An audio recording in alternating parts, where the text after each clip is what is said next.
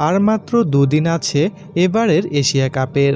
বেশিরভাগ দলই এখন টুর্নামেন্টের ভেন্যুতে অবস্থান করছে এবং পাকিস্তান দলও সেই ময়দানে নামার জন্য নিজেদের প্রস্তুত করছে।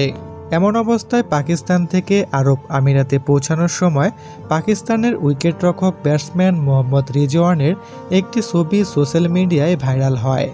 আর এরপরই সোশ্যাল মিডিয়ায় মুহূর্তের মধ্যেই সবার মনে জায়গা করে নেন মোহাম্মদ রিজওয়ান।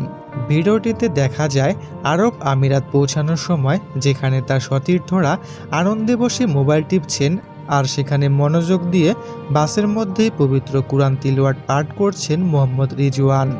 ছবিটি প্রকাশ হওয়ার পর থেকেই নেটিজেনদের কাছ থেকে প্রশংসা কুড়াচ্ছেন মোহাম্মদ রিজওয়ান।